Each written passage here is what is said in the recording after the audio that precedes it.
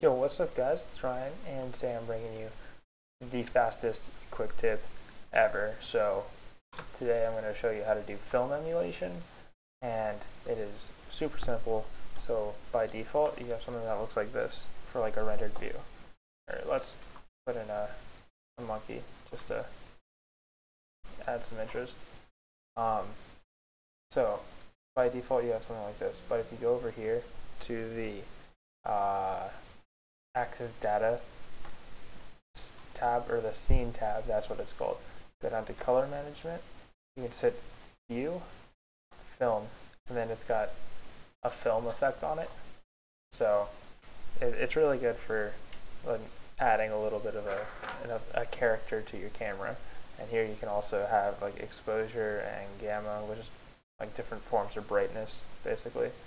Um, you can use curves over here for how your camera reacts. You can have like different characteristics and like profiles of different types of cameras.